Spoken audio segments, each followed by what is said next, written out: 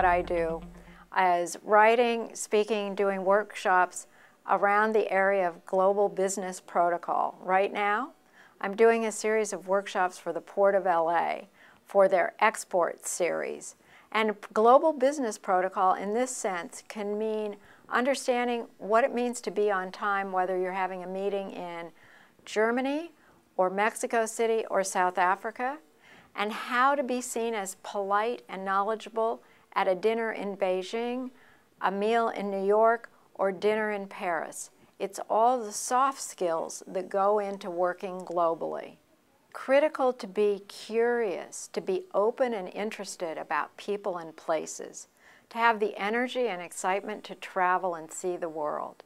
You'll find that people who work in the area of global protocol and culture, as well as in study abroad, not only are curious, they're well educated. Most of them have bachelor's and master's degree. I have a master's in international business and an MBA.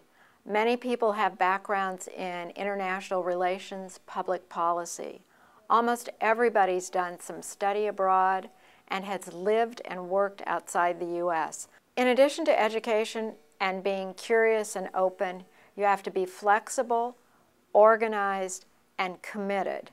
It takes a lot of energy and commitment to do this work.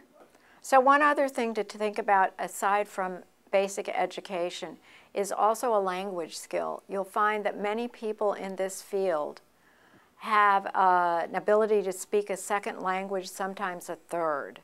And knowing something of any language is essential, at least to be able to say hello, please, and thank you in many languages wherever you travel. So how do you get into this business? Either actually the education study abroad side or the global culture and protocol side. I'd suggest that it all begins with networking and information interviews, but how do you find people in these fields? There are two very good organizations that have websites and annual conferences. If you're interested in the cross-cultural part of it, I would suggest an organization called SIETAR, S-I-E-T-A-R, the Society for Intercultural Education, Training, and Research.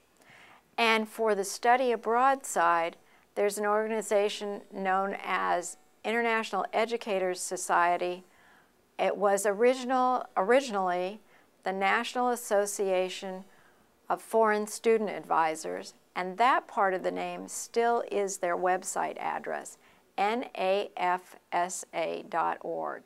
Both organizations are filled with people with lots of information willing to help.